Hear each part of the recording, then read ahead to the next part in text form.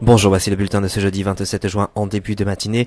Le soleil devrait revenir pour ces prochains jours. L'été revient avec des températures estivales, vous le verrez à la fin de ce bulletin. En attendant, pour ce matin, nous retrouverons quelques averses sur un grand quart nord-est. Partout ailleurs, nous profiterons d'un ciel variable avec une alternance entre champs nuageux et très belles éclaircies. Pour les températures minimales, elles sont encore assez basses pour la saison. 5 degrés sur Strasbourg, 10 dans Paris, 10 également sur Brest et 15 autour de Montpellier. Dans l'après-midi, on gardera euh, toujours ce temps mitigé euh, sur un grand quart nord-est avec encore des averses à la clé. Partout ailleurs, on aura un ciel d'alternance entre champs nuageux et période de soleil. Pour les températures maximales, ça reste bien bas pour la saison. 14 degrés sur Strasbourg, 21 dans la capitale, 18 du côté de Brest, 24 pour Biarritz et puis on ira également autour de 24 pour Montpellier. Pour les prochains jours, regardez, on conservera euh, des conditions encore agitées pour samedi, mais dès dimanche, c'est le retour du grand soleil quasiment euh, pour l'ensemble du territoire, avec des températures qui dépasseront aisément la barre des 20 degrés, avec une moyenne de 23 à 26 sur les régions du nord, 24 à 27, voire même 28 sur les régions euh, du sud. Donc l'été revient à partir euh, de dimanche. Aujourd'hui, nous sommes le jeudi 27 juin, nous fêterons les Fernand.